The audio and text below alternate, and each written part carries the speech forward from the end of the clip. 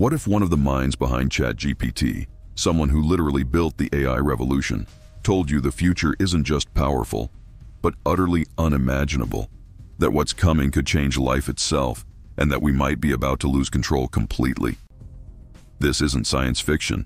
It's the real recent warning from Ilya Sutskever, co-creator of AlexNet, co-founder of OpenAI, and now the man behind a $30 billion AI startup focused solely on one thing, AI safety. If you've been thinking AI is just about chatbots or image filters, you're missing the bigger picture. In the next 12 minutes, we're unpacking the most important and frankly terrifying predictions you've likely never heard. And if you're not listening to this all the way through, you may be the one who's unprepared when the shift hits.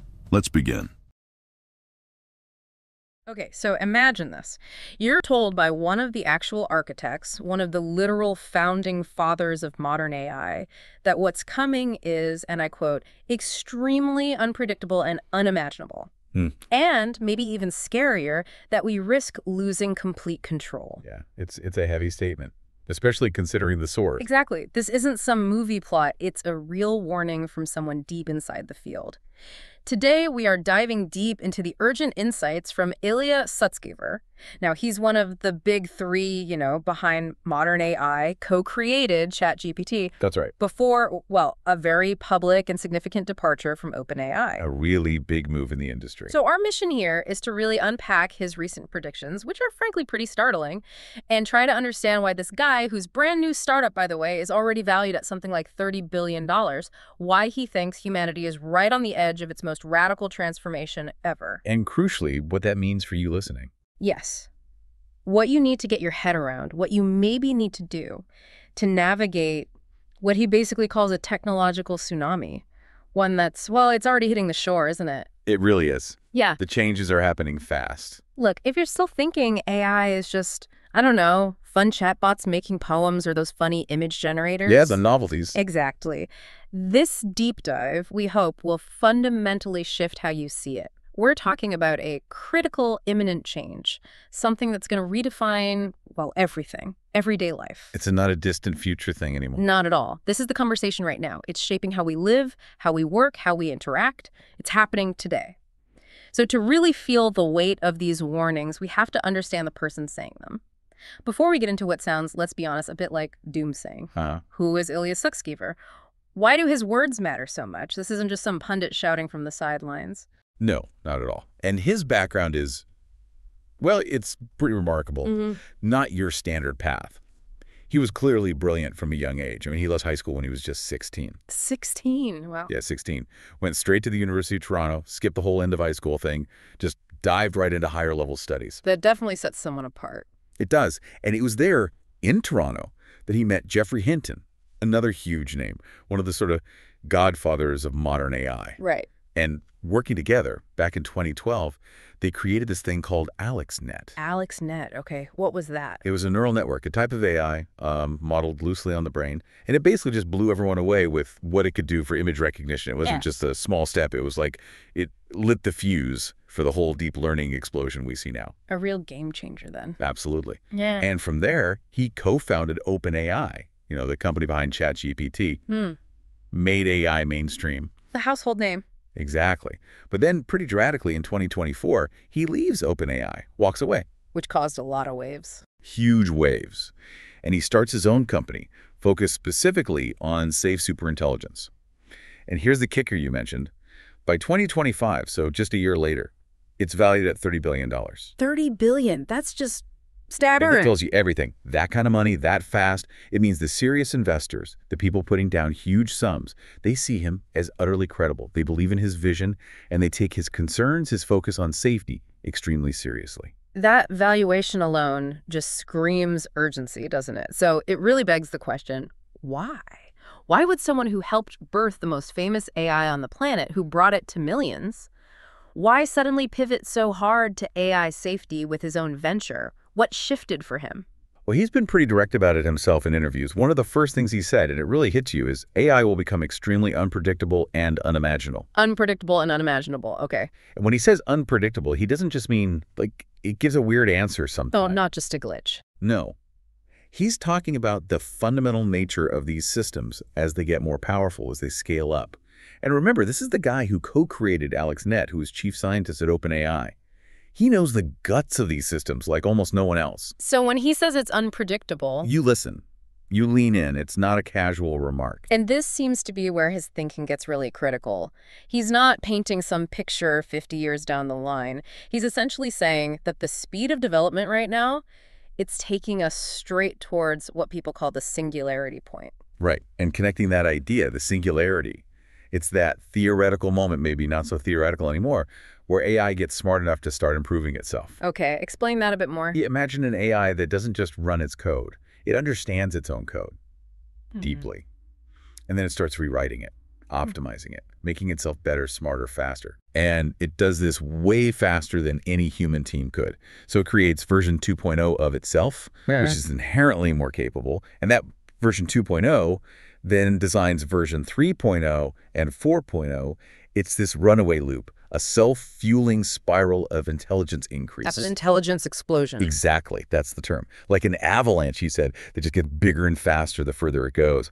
And the implication is this could accelerate so incredibly quickly, become so complex. No, we just can't keep up. we literally couldn't. It would be impossible for humans to fully grasp what's happening inside these systems, let alone control them or even predict their next move. It's the ultimate black box problem, but potentially on a civilization-altering scale. What I find so striking listening to him is this this duality. He talks about the most incredible possibilities, like wild optimism, Mhm. but then delivers these really brutal warnings almost in the same breath. It's quite a paradox.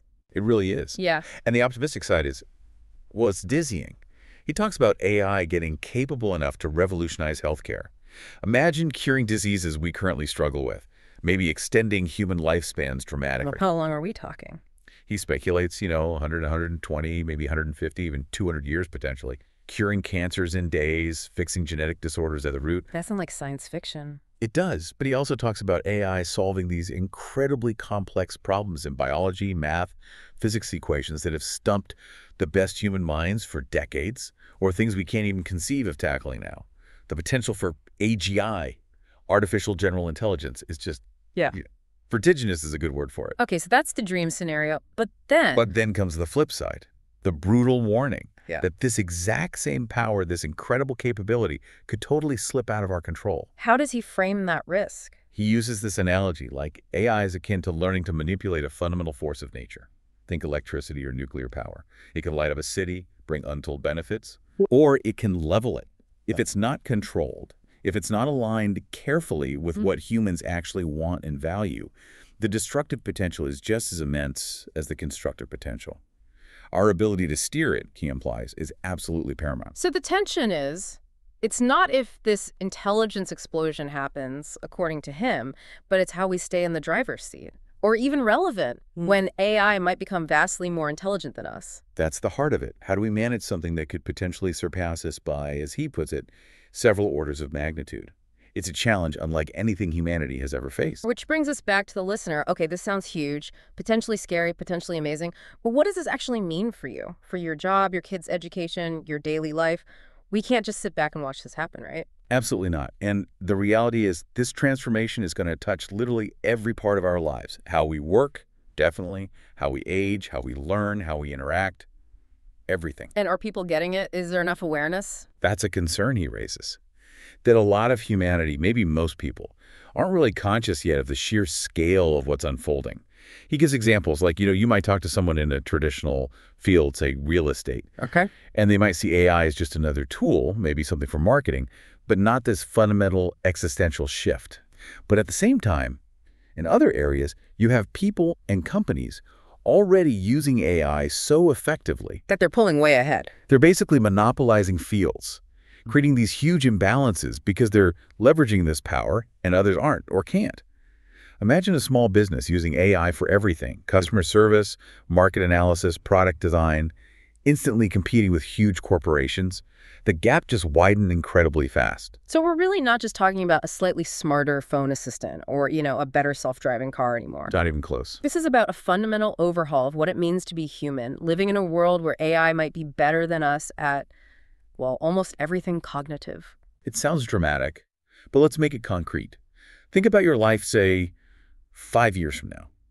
Maybe your main doctor is an AI. An AI doctor. Yeah, an AI that has access to all your real-time health data, knows your body's patterns better than any human possibly could, predicts issues before they happen. Okay, that's potentially amazing, but also a bit unnerving. Exactly.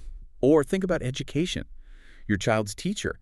Maybe it's an AI system perfectly tuned to their specific way of learning, designing personalized lessons that make learning almost effortless. Tailored education on a massive scale. Right, or your financial advisor. Oh. An AI crunching millions of economic variables constantly, making investment decisions with speed and insight no human could match. Sutskever even hints that the whole idea of our economy might need a fundamental rethink because of AI's capabilities. Wow. Okay.